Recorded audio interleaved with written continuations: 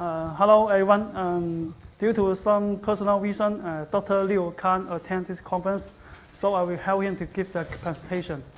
Um, the title is the contribution of the beach cast seagrass wet to the greenhouse uh, emission under wet and dry conditions.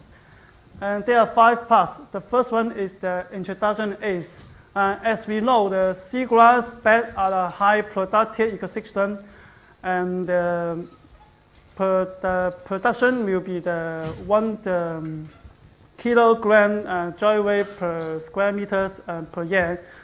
But uh, as we know, the seagrass, uh, parcel of the seagrass can be detached. So the leaf and the rhizome can become the littles. And the wing and the uh, speed current dynamics will transport the uh, beach to the, the wet to the beach. So the large wet, uh, seagrass wet will accumulate on the beach. So the, um, this uh, seagrass littles and it has many ecosystem functions. And first, they can uh, provide food and uh, habitat for the fauna. But uh, as we know, uh, during the decom uh, decomposition, the seagrass littles uh, can become the source of the CO2. So, um, next. So um, we, because of the tidal, uh, yes, the seagrass can uh, endure some uh, dry and wet condition. And in the high uh, area, the seagrass wet can uh, suffer uh, the totally the dry condition. But uh, in the low uh, position for the seagrass wet, because of the water will uh, come into the wet, so it will also induce some the wet condition. Uh, so because the moisture uh, can promote the decomposition of the seagrass mat, it also help to the, um, uh, push the, the release of the dissolved organic matter and also uh, can benefit for the micro breakdown of the, the seagrass littles. So um, our, our question is uh, how the moisture influence seagrass wet decomposition and the greenhouse gas emission. Uh, as we know, uh, there are about 74 seagrass species in the world, and the seagrass show the morpho, morpho, uh, modular species difference, and also the composition have difference. So, for example, for the Amphibolis antarctica, it has a long the, uh, vertical stem, but for the Zostera nigricaulis, and it just has the um, smaller the leaves. And also the composition for the Zostera nigricaulis, it has the more the, the bioorganic uh, organic carbons and also the high composition weights. So uh, if we uh, chose these two seagrass, uh, species, uh, this will help us to estimate the possible greenhouse gas emission rate from the seagrass wet. So our aim is uh, how much of the seagrass wet uh, carbon contribute to the greenhouse gas carbon. And also the second question is that does the moisture change the greenhouse gas flux potential from seagrass wet? Uh, we collect the seagrass wet from the beach and, and we do the laboratory uh, experiment for one month. Uh, we sampled uh, seven, 11 times to do the um, experiment. And we also use the uh, spray for, uh, to create the uh, wet condition. So um, when we get the data, we use the um, uh, double exponential functions to do the um, uh, simulation analysis. Because the seagrass wet, uh, the composition uh, divides into two phases. The first phase is the um, leaching phase. The second phase is the micro uh, breakdown of the uh, seagrass littles. Uh, so this is the result. You can see that um, uh, the um, triangle is the uh, wet condition. And for the wet condition, the seagrass wet, um, the, the CO2 flux rate have the short uh, decline uh, during the first line uh, the first nine days. But for the joy condition, um, it just have the short, ply, short decline uh, on the first two days. And at the end of the experiment, um, the CO2 flux rate ha has reached to the um, uh, three millimole per gram per day. And you can see that uh, the double exponential model uh, is uh, best uh, fit to this data. And this is the CO2 flux amount for the two sequences. Uh, you can see that um, for the Zostera nigricaulis, it is uh, higher than the Amphibolis antarctica. Uh, because the Soester Nigrin uh, have the higher um, carbon hydrate and other uh, soluble uh, organic carbon. So it has a higher CO2 flux amount. And also uh, for the um, wet condition, both sequences show the higher CO2 flux in the wet condition. This is also the same to the, um, because the wet condition is benefit for the decomposition. And also, um,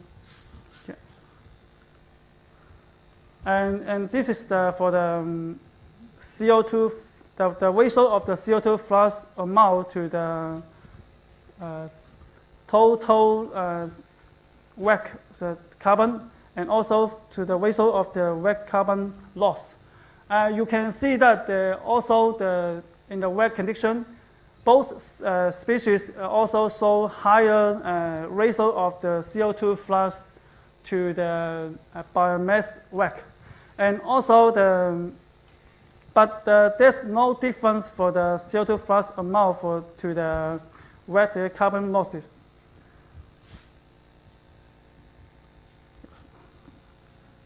So uh, for the ecological implications, um, if the seagrass uh, west is in higher condition, in higher position, uh, which is uh, endure uh, high uh, frequency of the joy condition, the, uh, the emission of the CO2 will be less.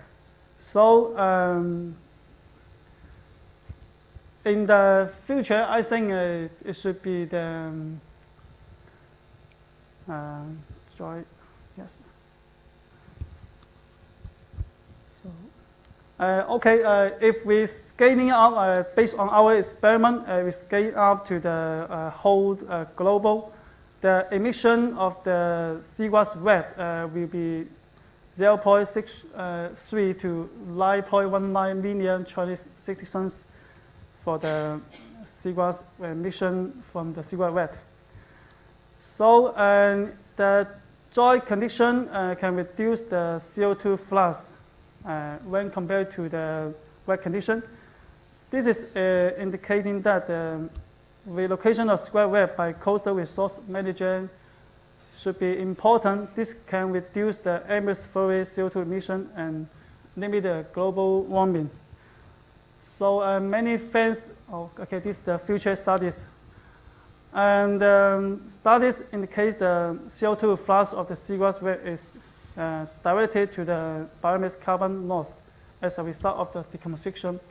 But as we know, the, um, besides the moisture and other environmental factors, uh, such as the temperature and also light, can also affect uh, this um, seagrass decomposition and also affect this the CO2 emission.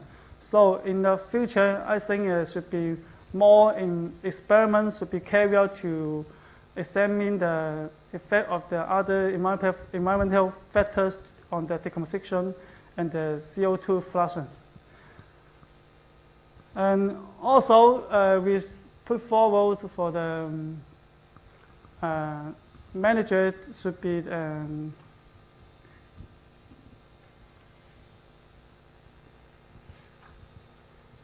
we should also uh, do some um, put some put out put forward some uh, suggestion to the manager to uh, reduce the, the, CO2 emission from the seagrass west. Uh, so um, yes, this many thanks to the, these people. So uh, thank you.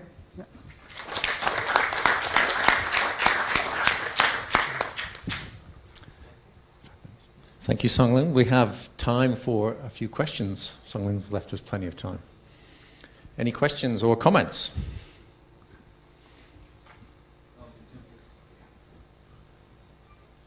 Did Mitra. you at Yep. any point compare it to? Sorry. Um, Did you at any point compare it to algal wrack?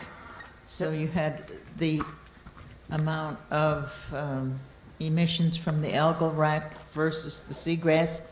And second question, was the seagrass mixed with alga when you did this? You mean the algal seagrass west?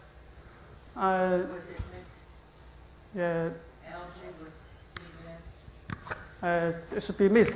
It was mixed. Yeah, missed.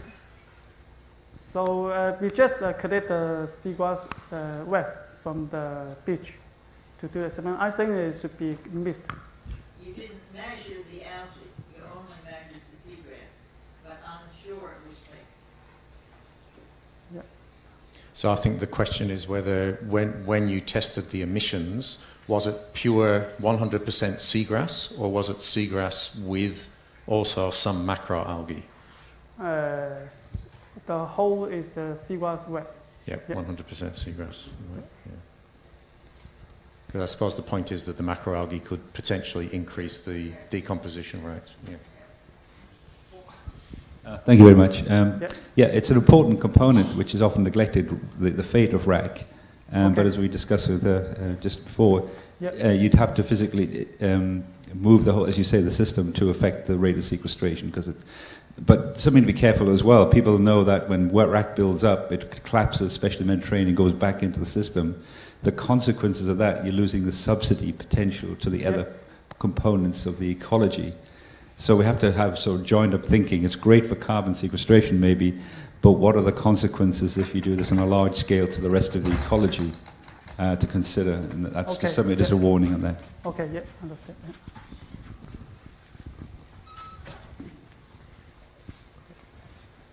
Any other comments or questions? I, I just have one quick one. Um, Okay.